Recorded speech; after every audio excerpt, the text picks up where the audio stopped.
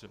Ja, vi har tænkt over vores uh, ja, fejl, vi kan sige, men ikke så langt om det. Men uh, vi også har ja, træner meget om det ting, vi skal tage med, og vi har masser af energi og nu til det næste ja, sidste år i kampen, før vi har pausen.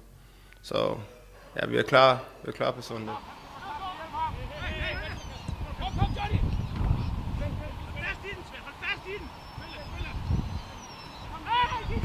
Ja, det er altid dejligt at spille, spille hjem, og det er altid en god, uh, god stemning.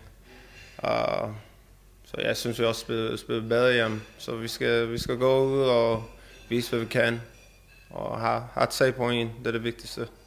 Ja, det, vi skal vinde uh, og søndag. Det er ikke uafgjort, og vi skal ikke tabe igen. Jeg, jeg er virkelig træt af tabe, og vi er virkelig træt af tabe, så vi skal have tre point.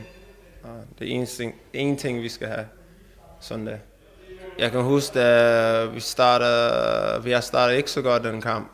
Og så søndag det er vigtigst, at vi starter godt. De første 20 minutter, vi er klar, og vi skal, vi skal være sammen, og ja, vi skal have hårdt arbejde, og vi skal lave den gode ting. Så det er vigtigt, at vi starter, vi starter godt og, og søndag.